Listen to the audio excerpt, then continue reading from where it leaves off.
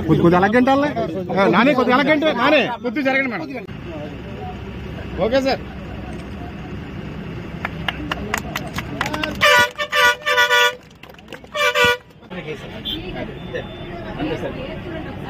Gate తీయండి gate full గా తీయండి అవునా చూసాను సార్ ఇలా చూడండి సార్ ఒకసారి.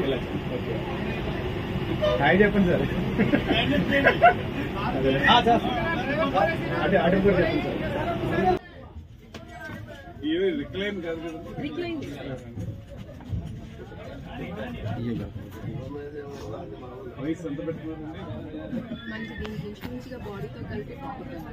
కారణం ఏంటంటే ఒకప్పుడు చాలా అద్భుతమైన ప్రగతిలో ఉండేటువంటి నిడదవోలు డిపో. ఇప్పుడు కారణాలు ఏవైతే కానివ్వండి ఆ స్థాయిలో లేదు అనేటువంటి మాట మనందరికీ తెలుసు. ఒకనొక టైంలో పూర్తిగా మూసేసినట్టు మనకు తెలుసు అయితే ఇవాళ గ్రామీణ ప్రాంతాల్లోని ప్రజలకు ఉపయోగపడాలంటే బస్సులే సరండి మారుమూల ప్రాంతాలకు వెళ్ళాలంటే బస్సుల ద్వారా మాత్రం వెళ్ళగలుగుతారు. అదేవిధంగా బస్సుల్లో ప్రయాణం అనేది సురక్షితమైనటువంటి ప్రయాణం. క్వాలిఫైడ్ డ్రైవర్స్ క్వాలిఫైడ్ స్టాఫ్ ఉంటారు కనుక వాళ్ళందరూ జాగ్రత్తగా తీసుకెళ్తారు. అయితే ఇక్కడ మనకు కావాల్సింది ఏంటంటే డిమాండ్ ఉన్నా కూడా మనం ఇంకా బస్సులు పెంచుకోలేని పరిస్థితి మనకు కనబడుతుంది దానికి ఒక కారణం ఏంటంటే రాష్ట్ర విభజన జరిగిన తర్వాత తెలంగాణ వాళ్ళ ఆర్టీసీ వేరు మన ఆర్టీసీ వేరు అయింది. ఈ సందర్భంలో రెండు రాష్ట్రాలకు సంబంధించి జరిగేటువంటి ఒప్పందాల్లో ఇన్ని బస్సులు ఇక్కడి నుంచి ఆపరేట్ చేయాలి ఇన్ని బస్సులు అక్కడి నుంచి ఆపరేట్ చేయాలనేటువంటిది వారు నిర్ణయిస్తారు. ఆ నిర్ణయం మేరకు ఇవాళ మనకి రెండు బస్సులు హైదరాబాద్కు ఉన్నది ఒక బస్సుకే పరిమితమైంది అనేటువంటి మాట చెప్తాం అయితే ఈ మధ్య కాలంలో ప్రధానంగా ఒక కాకినాడకి కనెక్టివిటీ బాగా పెంచారనేటువంటిది కూడా ఆనందంగా చెప్తున్నారు.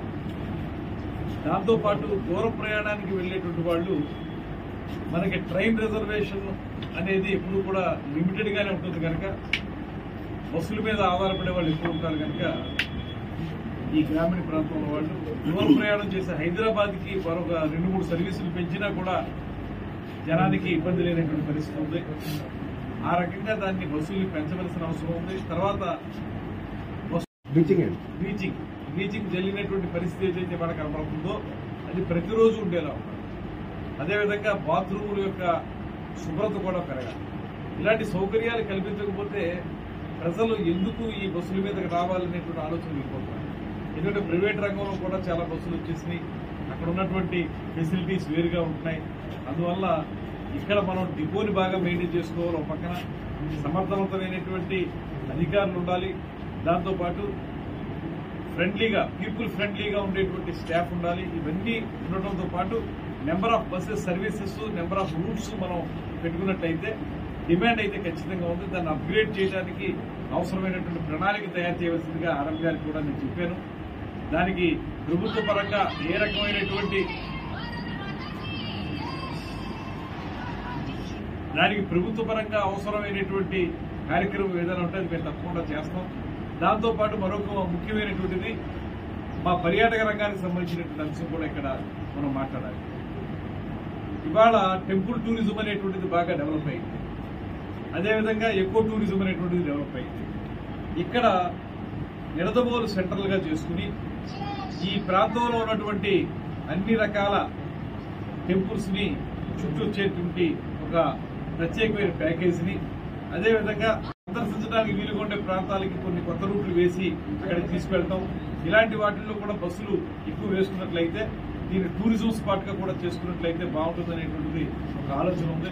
నేను ఇప్పుడే ఆర్ఎం గారితో చెప్పాను వాళ్ళ దగ్గర ఉన్న ప్లాన్స్ ఏంటి ఏం చేయబోతున్నారు భవిష్యత్తులో ఎలా ముందుకు తీసుకెళ్ళబోతున్నారు అనేటువంటిది వారు అడిగాను త్వరలోనే వాళ్ళ వివరాలన్నింటితో కూర్చుంటాం. కూర్చుని తప్పనిసరిగా ఒక మంచి డిపోగా దీన్ని రూపొందించడానికి అదేవిధంగా ఎక్కువ కనెక్టివిటీ ఇచ్చే విధంగా ప్రజలందరికీ ఉపయోగపడే విధంగా దీన్ని తీసుకెళ్ళడానికి పల్లెవెలుగు కూడా ఉన్నట్టుంది కనుక పల్లెవెలుగు ఇక్కడి నుంచి గ్రామాలు మారుమూల గ్రామాల్లోకి వెళ్తుంది.